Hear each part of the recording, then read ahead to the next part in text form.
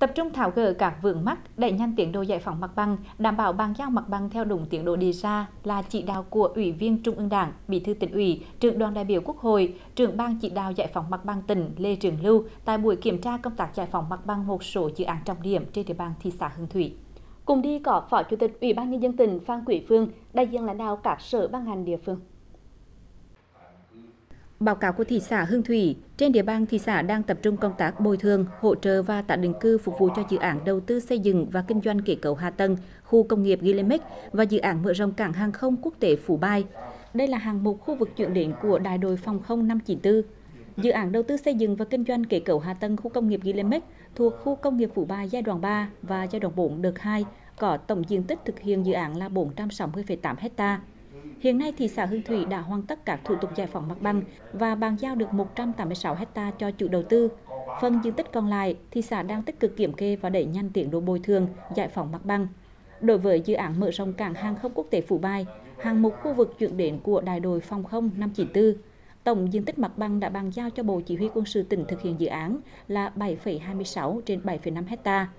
Về diện tích 2.322 m2 của doanh nghiệp tư nhân Thanh Hiền chưa thống nhất bàn giao mặt bằng.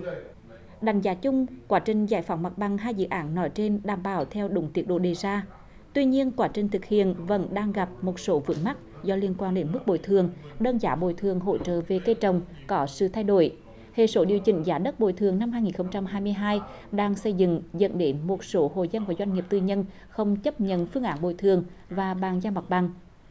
về vấn đề này, thị xã đang tiến hành các bước theo đúng quy định của nhà nước để đảm bảo tiến độ giải phóng mặt bằng chung cho hai dự án nói trên. Sau khi nghe ý kiến đóng góp của lãnh đạo tỉnh và các sở ban ngành liên quan, Bí thư tỉnh ủy Lê Trường Lưu cho rằng giải phóng mặt bằng nói chung, giải phóng mặt bằng dự án gilimex và dự án mở rộng cảng hàng không quốc tế Phú Bài nói riêng rất khó khăn, nên tỉnh đã tập trung chỉ đạo rất quyết liệt qua báo cáo và thực tế thị sát cho thấy, thị xã Hương Thủy cơ bản đã thực hiện tốt những công tác liên quan đến giải phóng mặt bằng hai dự án trọng điểm trên, đáp ứng tiến độ đề ra. Bí thư tỉnh ủy Lê Trường Lưu đề nghị thị xã Hương Thủy cần tăng cường hơn nữa sự kết nối, phối hợp với các nhà đầu tư trong công tác giải phóng mặt bằng, đẩy mạnh tuyên truyền, vận động đi kèm với phương án bồi thường thỏa đáng đối với các hồ chưa thống nhất mức bồi thường, khẩn trương điều chỉnh hệ số giá đất, nhanh chóng chi trả tiền các trường hợp đã phê duyệt phương án bồi thường, tổ chức kiểm kê đối với phần diện tích còn lại nhằm đảm bảo công tác giải phóng mặt bằng đúng tiến độ đề ra.